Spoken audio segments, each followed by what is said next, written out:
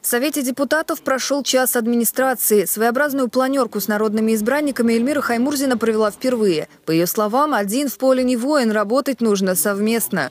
Во-первых, я э, возобновила практику систематически, на систематической основе приемов граждан. За месяц, который я здесь нахожусь неполный, я провела уже два приема. Второй был вчера. Э, к сожалению, вынуждена констатировать, что граждане наши, жители, приходят с вопросами скорее типичными. Есть вопросы исключения, а есть вопросы типичные, которые указывают на то, что у нас есть в работе администрации в том числе и, возможно, и в работе там, отдельных депутатов на отдельных территориях системный сбой.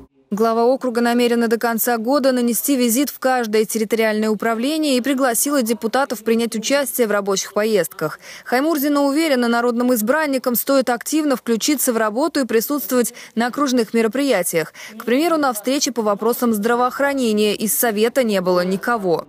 Вообще, если, бы, если депутатам бы не все равно было бы, например, ну, может быть, кто-то из вас бы и пришел бы на эту встречу.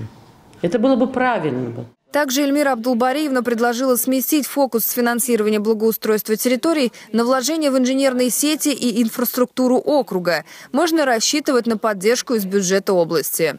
Это касается Нахабина в первую очередь, строительства поликлиники детской и пристройки к первому лицею.